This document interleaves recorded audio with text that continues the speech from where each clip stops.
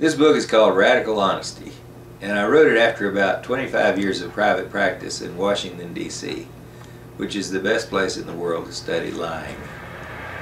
And I learned from my clients and from my own personal life that honesty really is the best policy, given that what keeps you trapped in the jail of your mind is lying. And we all lie like hell all the time because we've been taught a mistaken identity. Most of my therapy practice was getting people over their schooling and parenting. And what they learned in school and from their parents was that who they were were their reputations, the grades they made, how much money they earned, what kind of job they got, what other people thought of them.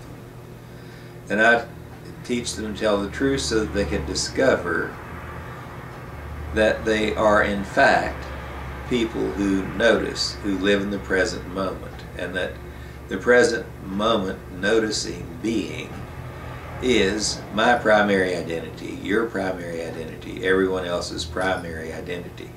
And if you move your reputation and your case history to the background and that to the foreground, there's no longer any need to lie to maintain your identity.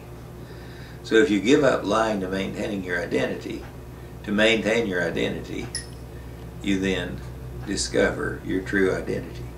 And here is what allows you to be powerful and be intimate in relationships and to be capable of creating using your mind rather than the victim of your own mind.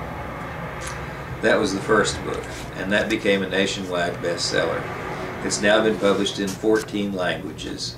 The new revised edition just came out two years ago. It's been reprinted two times, and it's there's been an additional surge of international language rights sales. So this is a book worth reading because it's a participant in the ongoing change in humanity toward the possibility of our survival rather than our extinction.